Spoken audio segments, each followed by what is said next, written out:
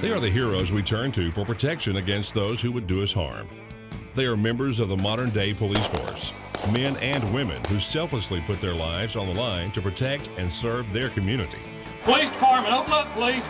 To become an officer of the law requires hours of professional training. Those courses are taught at the Basic Law Enforcement Academy of Georgia Northwestern Technical College. The academy is located on the college's Gordon County campus and led by veteran police officer Jim Pledger. Basically, the students that come here are interested in becoming police officers. They could be hired by local agencies such as police or uh, sheriff's offices. Uh, some of the students, once they graduate this program, decide to, to go ahead and stay in school and get their degree. Uh, many of them stay and get the associate's degree. And some go to work and, and still attempt to get the associate's degree. There is more to the basic law enforcement program than just classroom lectures. Most courses offer hands-on experience in the field. Young officers are taught how to handle pistols and shotguns on a live firing range.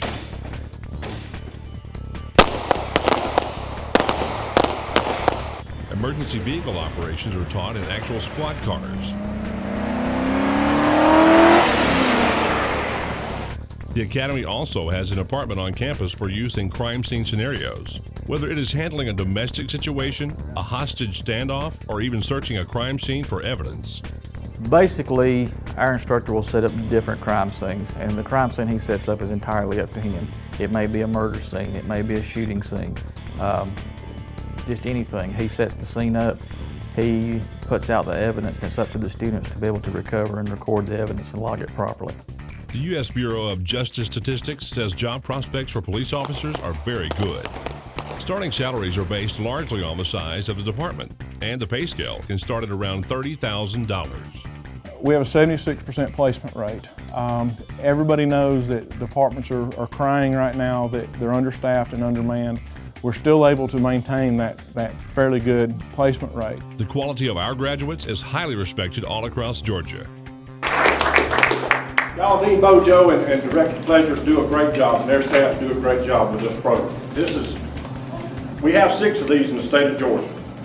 This one stacks up with any one of them. They're good. They know what they're doing, and the people do a good job in training these, these young men and women. It will take two semesters to earn a certificate in basic law enforcement, which includes certification from the Georgia Peace Officers Standards and Training Council. Should you want more training, many of the basic law enforcement credits will transfer into our criminal justice program. To be admitted into the Basic Law Enforcement Academy, students must have a high school or GED diploma. They must be 18 years old and pass an entrance test. Also, they will have to pass a background investigation conducted by the Georgia Peace Officers Standards and Training Council. There's two types of, of recruits, and there's a pre-service and a sponsor. And the pre-service means you're basically coming on your own. You're not hired by an agency.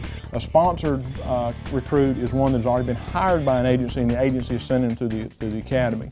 Um, we will take either. We're building a foundation for a good police officer is what we're trying to do. Uh, so they will come in here and learn the basics that they need to be a police officer.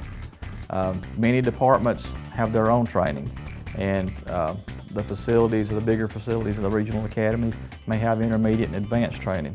So what we try to teach here is the basic things that the student will encounter should he, she or, he or she become a police officer. The Basic Law Enforcement Academy, where Georgia Northwestern Technical College will teach you to protect and to serve.